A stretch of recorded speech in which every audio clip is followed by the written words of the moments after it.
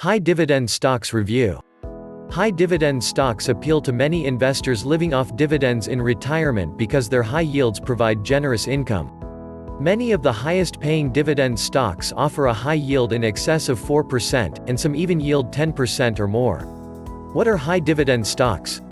I generally classify any stock with a dividend yield in excess of 4% as being a high dividend stock. Why 4%? Well, the chart below shows the US stock market's dividend yield since 1871. You can see that the stock market's dividend yield has remained well below 4% for most of the last 25 years.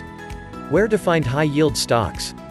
Many different types of high dividend stocks exist in the market, and each type possesses unique benefits and risks. Final words. If access to capital markets becomes restricted or more expensive e.g. rising interest rates, a slumping share price, such as what happened during the financial crisis, these types of high dividend stocks can suddenly be very vulnerable. Click the link below to get started with special discounted price and to get free bonuses too. 100% money back guarantee within 60 days if you are not satisfied with the results. Please like, share, comment and subscribe to Channel Reviews Society for more legit product reviews.